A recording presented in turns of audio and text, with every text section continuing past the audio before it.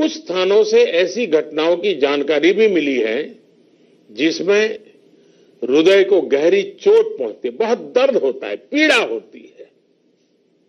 मेरी सभी नागरिकों से अपील है कि अगर ऐसी कोई गतिविधि कहीं दिखाई दे रही है, इस सेवा में रत, इस महामारी से हम लोगों को बचाने के लिए जो काम में लगे हैं डॉक्टर हैं, नर्स हैं, मेडिकल के लोग हैं, सफ़ाई के लोग हैं।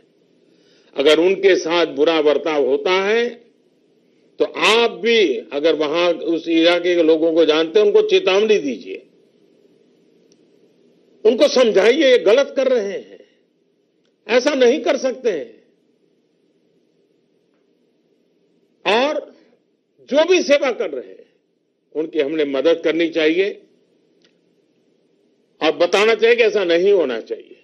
और मैं आपको बता दूँ, जब मुझे कल सब डॉक्टरों से बात कर रहा था, मुझे पता चला, घटनाएँ भले छुटपुट कहीं कहीं होगी, लेकिन मेरे लिए गंभीर है। और इसलिए मैंने तत्काल गृह विभाग को, राज्यों के सभी डीजीपी को सख्ती से काम करने के लिए कहा है कि ऐसे कोई भी व्यक्ति डॉक्टरों के साथ, नर्सों के साथ, सेवा करने वालों के साथ, अगर इस प्रकार का कुछ भी करेंगे तो उनको बहुत महँगा पड़ेगा और सरकार सख्त कदम उठाएगी।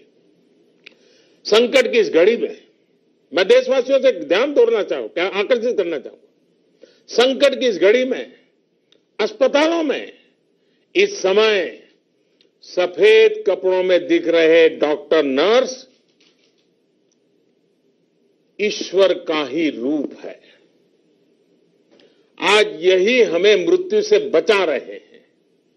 अपने जीवन को खतरों में डाल करके ये लोग हमारा जीवन बचा रहे हैं।